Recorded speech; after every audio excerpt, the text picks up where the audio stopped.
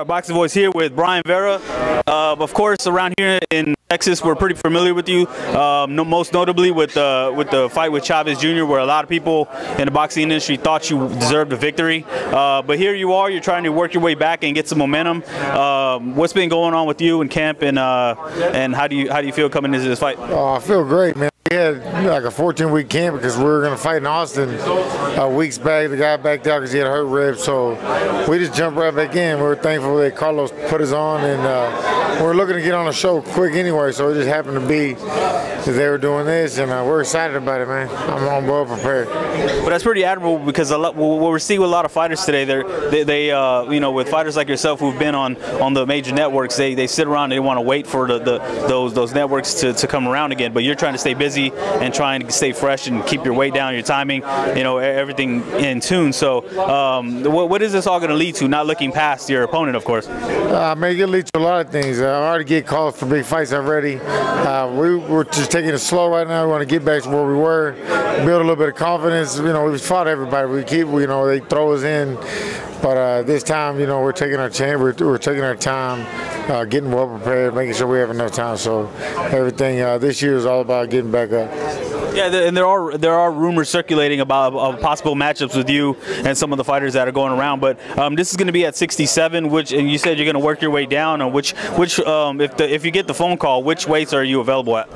Uh, we're looking we're looking to definitely get back to middleweight. So uh, anywhere from 65 below. And then obviously if it's for a title or something, it has to be at 160. So right now that's our goal, man. 168 is a little bit a little bit too big for me. You know what I mean? It's, uh, I'm getting I'm getting older, so it's just making it tougher to get down to 160. But if we give ourselves we give ourselves enough time and do it right, we can do it. And it, and, and like you said, as you get older, you, it gets harder to, to, get down in weight. So is that what these these fights in between are are really detrimental to to keeping your weight down, keeping you bit active, keeping your timing and all your reflexes intact? I think so. I think it makes a big difference because you obviously have to keep the weight down. Uh, you don't have as much time to blow back up.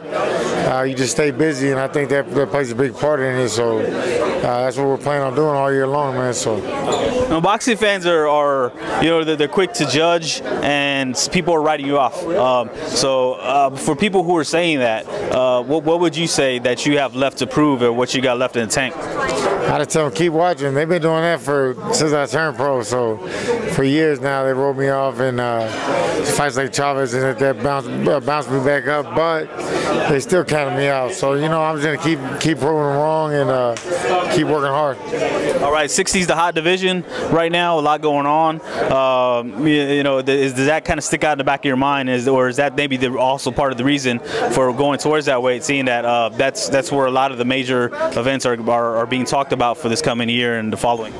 Yeah, I think it plays in my hand because I think there's a lot of talent at 160. There's a lot of money fights. We, we do we do this to make money as well. So uh, there's there is a lot of opportunity, and uh, I just want to go out there and put on a great show and get to get back to that level.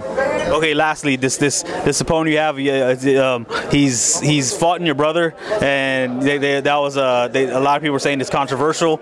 So um, is this more than just a tune-up fight for you? Is this is this kind of like a, a, little revenge, maybe a little bit of hot blood running through your veins right now? Yeah, a little bit. You know, he got a big mouth. You know, he's a smaller guy. My brother fought at 147. I fight at 160. He's coming up like three weight classes, so chances are I'm gonna get him, I'm gonna get him out of there, hurt him, man. But he got he obviously coming in confident and thinking he's gonna do something but I'm gonna get rid of him. I appreciate your time. Good luck Saturday. Thank you. Right, turning out.